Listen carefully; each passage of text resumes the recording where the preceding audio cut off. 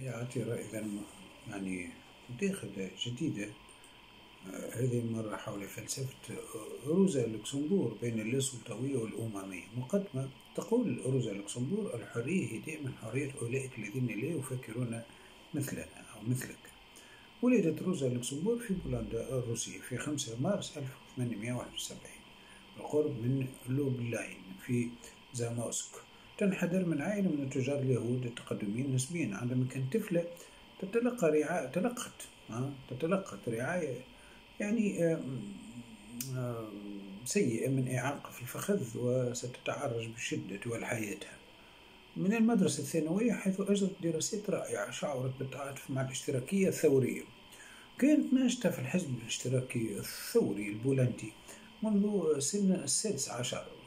وآمنت بالبروليتاريا على الرغم من أنها بدأت الدراسة في وارسو إلا أن نشاطها السياسي أجبرها على الفرار إلى سويسرا في عام 1889 مثل العديد من الثوار الآخرين. إن يعني بعد عندما وصلت إلى سن الثامنة عشر في جيروخ استأنفت دراستها واختتمت بأطروحة في الاقتصاد السياسي بعنوان التنمية الاقتصادية لبولندا. نشرت عام 1898 هناك شاركت في تأسيس حزب ديمقراطي اجتماعي حزب الاشتراك البولندي والليتواني مع ليو جرو جوجيتشيس وقامت بحملة من أجل وحدة العمل بين العمال الروس والبولنديين. وستكون أيضا مندوبة من بولندا إلى المؤتمر الدولي الثالث الأممية في عام 1896 حيث ستعارض أفكار إنجلز بشأن مسألة الاستقلال البولندي حيث دعمها الأخير يعني دعمها يعني ماركس خلال حياتها. إنجلز أيضا دعمها خلال حياته. من خلال زواجها من طبيب ألماني حصلت على الجنسية الألمانية وانتقلت إلى برلين عام 1898 حيث كانت ناشطة في الحزب الديمقراطي الاجتماعي والحزب الأممي الثاني. هناك التقت ب بيبل كاوتسكي قبل كل شيء كلارا زيتكين. التي ستظل رفيقة وصديقة طوال الحياة. قد أحيت الجناح اليسار الأممية خاصة كارل ليبخين ليبخنيخ ليبخينخ ولينين. كارل ليب ليبكنخت ولينين جعلت من نفسها الوريثة الإيديولوجية لكارل ماركس. قد أكدت صفاتها كمناظرة الاشتراكية من خلال مجادلة الإصلاحيين بقيادة إدوار برنشتاين في ألمانيا وألكسندر ميليران في فرنسا. لكنها عارضت كاوتسكي أيضا. أدارت أيضا مراجعة جريدة العام الساكسوني وساهمت في الزمن الجديد في عام 1899 شاركت في المؤتمر الاشتراكي الدولي في باريس كتبت في العديد من المجلات الاشتراكية الألمانية. قبل أن تشارك في إخراج ليبزيغ صيحة فسيخ صحيفة الشعب بين عام 1910 1901 و 1902 توفيت في عام 1903 طلبت مؤتمر دريسدن الحزب الاشتراكي الديمقراطي إدانة تحريفية برنشتاين أدى خطابه إلى حكم عليه من قبل السلطات الألمانية بسجن ثلاثة أشهر في يناير 1904 في الربيع سنة نشرت أسئلة حول تنظيم الديمقراطية الاجتماعية الروسية. حيث عارضت لينين بشأن تنظيم الحزب. في سبتمبر تم سجنها لقضاء عقوبته في 1905 عندما اندلعت الثورة في روسيا عادت روزا لوكسمبورغ إلى وارسو. ثم ضمت وشاركت فيها ألقي عليها القبض وفضحت يعني يعني قناعاتها وأرسلت إلى السجن بين مارس ويوليو 1906 في وارسو. يعني وكانت على وشك الإعدام تلقي الإعدام وبعد ذلك بوقت قصير أطلق سراحها ووضعت قيد الإقامة الجبرية في فنلندا في كوكالا حيث كتبت إضرابات جماهيرية وحفلات ونقابات عادت إلى ألمانيا في سبتمبر حيث شاركت في مؤتمر مانهايم الحزب الاشتراكي الديمقراطي. بسبب حديثها حكم عليها مرة أخرى بالسجن لمدة شهرين من قبل السلطات الألمانية. السنوات التي تلت ذلك وجدت نفسها مهمشة وخاضعة لرقابة داخل حزبها. الذي اختار بشكل متزايد اندماج الطبقة العاملة في المجتمع الرأسمالي من 1907 إلى 1914 درست في مدرسة الديمقراطية الاجتماعية في برلين محاضرة وألقت محاضرات نشرتها في تحت عنوان مقدمة في الاقتصاد السياسي. دافعت عن فكرة الإضراب الجماهيري باعتبارها الوسيلة الرئيسية للعمل الثوري. قضت عقوبتها من يونيو إلى أغسطس 1907 كما كتبت تراكم رأس المال سنة 1913 وهو عمل حاولت فيه إظهار أن التطور الإمبريالي الرأسمالي سيؤدي إلى تعزيز الصراع الطبقي. آه، من خلال العمل الثوري الذي قام به في سبتمبر نفس العام في فرانكفورت ألقت خطابا دعت فيه إلى تأخي العمال ضد الحرب.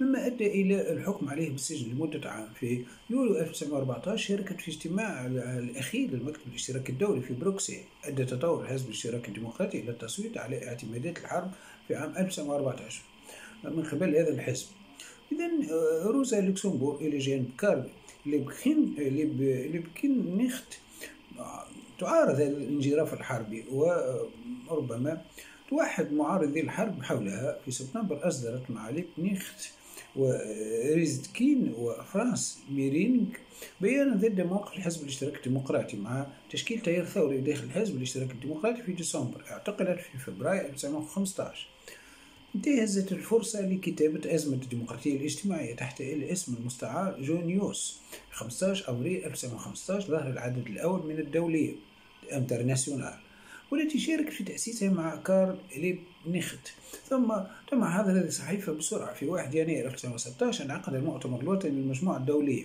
والتي أصبحت فيما بعد رابطة سبارتاكوس عضوا صدر في الربيع عام 1916 يعني حثت الناس مع كارل ليبنيخت خلال مظاهرة 1 مايو 1916 على القتال ضد الحرب.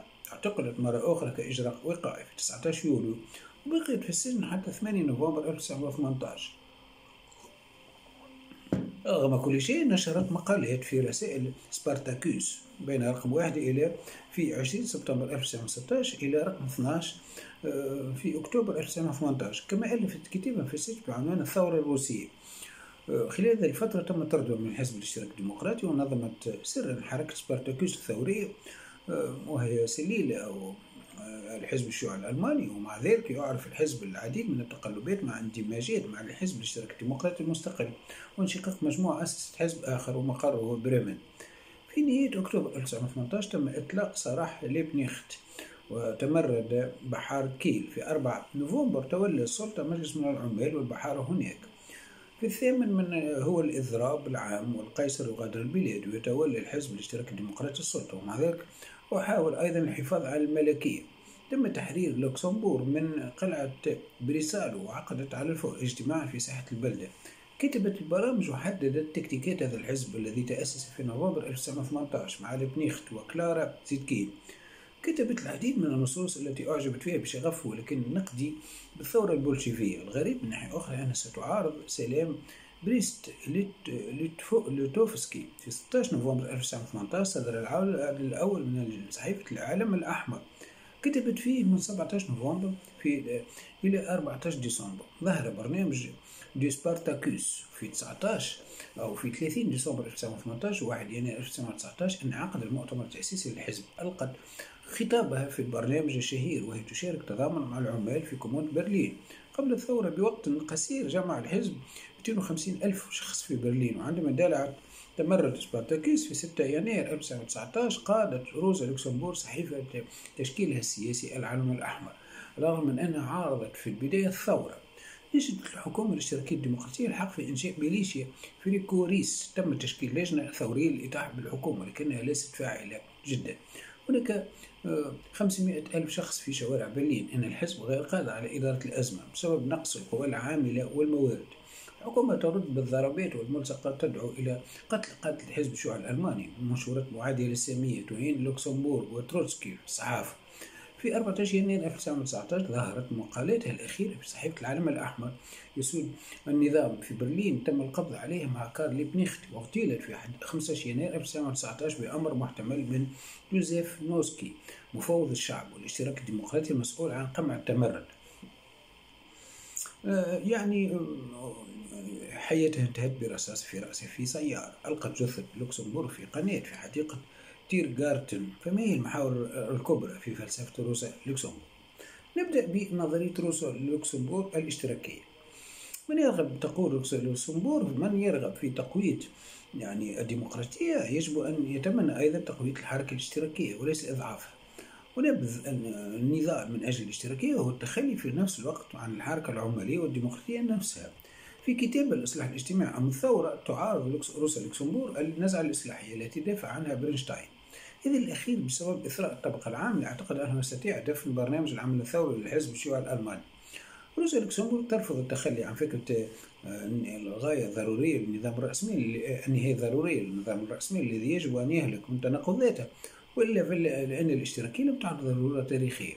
لأن تطور الائتمان أو تكوين الكارتلات الاقتصادية يبرز التناقضات فإن أطروحة برنشتاين خاطئة على خلاف ذلك ترى روزا أن ميل الرأسمالية إلى التوسعات المفاجئة يشكل العنصر الأكثر أهمية والميزة الأكثر بروزا للتطور الحديث في الواقع يرافق توسع المسار التاريخي الكامل لرأس المال. قد اتخذ في مرحلته الأخيرة الحالية الإمبريالية طاقة متهورة لدرجة أنها تدعو إلى التشكيك في الوجود الحضاري الكامل للبشرية. كما لا تعتقد روزا لوكسمبورغ أيضا أن الطبقة العاملة تستولي على السلطة بحجة أن مطالب النقابات تتقدم فالنقابات مقتصرة على النظام من أجل الحفاظ على الأجور وليس لها أي سلطة على واقع التوظيف أو سوق العمل. الدولة تنشط اجتماعيا فقط إلى الحد الذي تتوافق فيه مصالح الطبقة السائدة أي الطبقة البرجوازية مع مصالح الطبقة العاملة لكل هذه الأسباب فإن الإصلاحات الاجتماعية ليست غاية في حد ذاتها ولا يمكن أن تحل محل هدف الاستيلاء البروليتاري على السلطة. يجب أن تخلف الشيوعية بالضرورة الرأسمالية وأي محاولة للتكيف مع نظام الإنتاج خاطئ.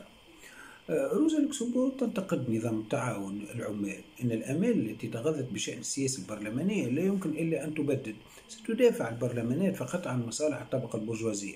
ويمكن للنظام الرأسمالي أن يتبنى أنظمة سياسية أخرى غير ديمقراطية يختلف الإصلاح جذريا عن الثورة لأن الثورة تعني الانتقال من نمط إنتاج إلى آخر بينما الإصلاح جزء من نفس الإطار الإنتاج الرأسمالي. أي شخص يقرر مسار الإصلاحات بموجب القانون بدلا من معارضة الاستيلاء على السلطة السياسية والثورة الاجتماعية ليختار في الواقع مسار الأكثر هدوءا وأمانا وأبطأ من شأنه أن يؤدي إلى نفس الهدف ولكن يختار هدفا مختلفا.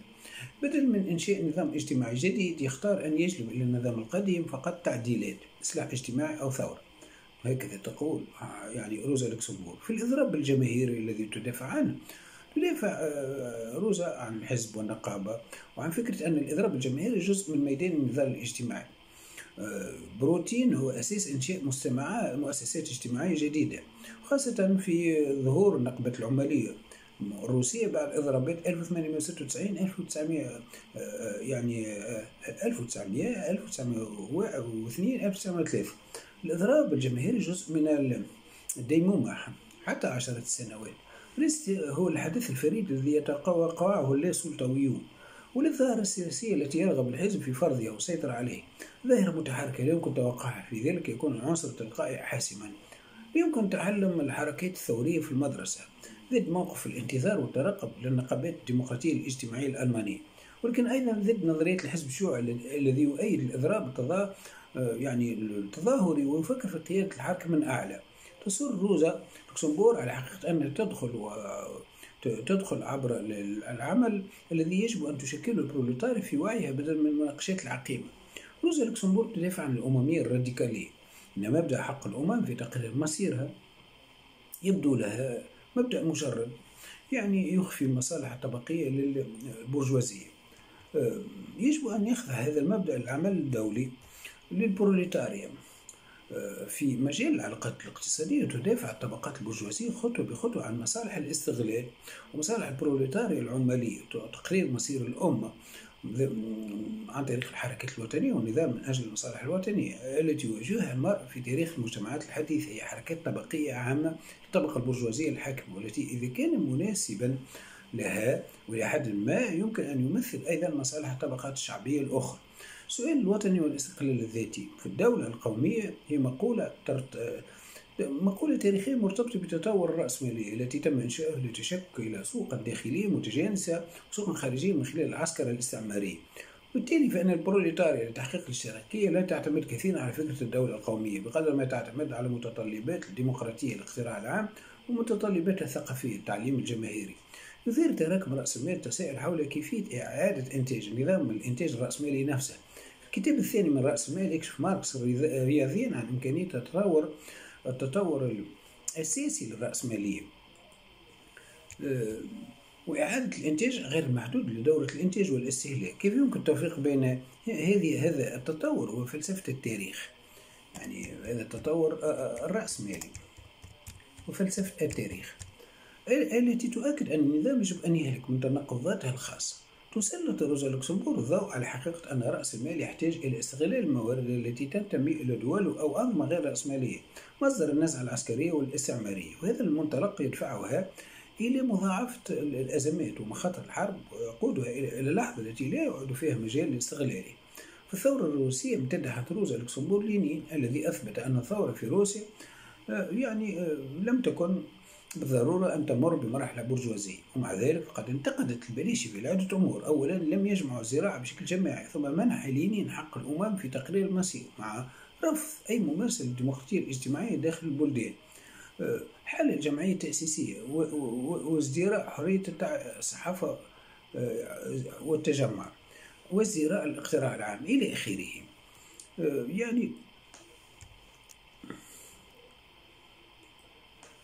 هل الجمعية التأسيسية يقضي على السيرة بين الجماهير وش ممثليها الاستنتاج الذي توصلت إليه هو مالي من يقرر لصالح مسار الإصلاحات القانونية بدل من الاستيلاء على السلطة السياسية والثورة الاجتماعية والذدة ليختار في الواقع مسار أكثر هدوءا وآمن وأبدع يؤدي إلى نفس الهدف ولكن هدفا مختلفا وهو فبدل من إنشاء مجتمع جديد كانت هناك تعديلات سطحية بحتة للمجتمع القديم.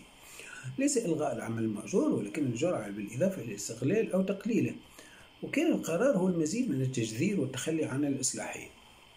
العنصر الموالي هو اتخاذ المسافة النقدية.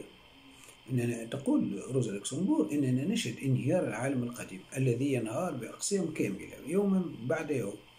والأمر الأكثر إثارة للدهشة هو أن معظم الناس لا يلاحظونه ويعتقدون أنهم ما زالوا يسيرون على أرض صلبة إن التحليل الذي قاد لينين وتروتسكي للتأكيد على أن الهياكل الديمقراطية البرجوازية خاطئة من الصعب تخيل أن سيطرة المصالح الواسعة على الطبقات الشعبية يمكن أن يتحقق بدون حرية التجمع أو تكوين الجمعيات. تنتقد روزا لوكسمبورغ مفهوم إرادة السلطة من منظور الإرهاب. الإرهاب يأتي بنتائج عكسية أن الثورة والحياة الفكرية والنشاط والمسؤولية الذاتية للجماهير يمكن أن تجعل من الممكن التغلب على المحن التي واجهتها أثناء النضال.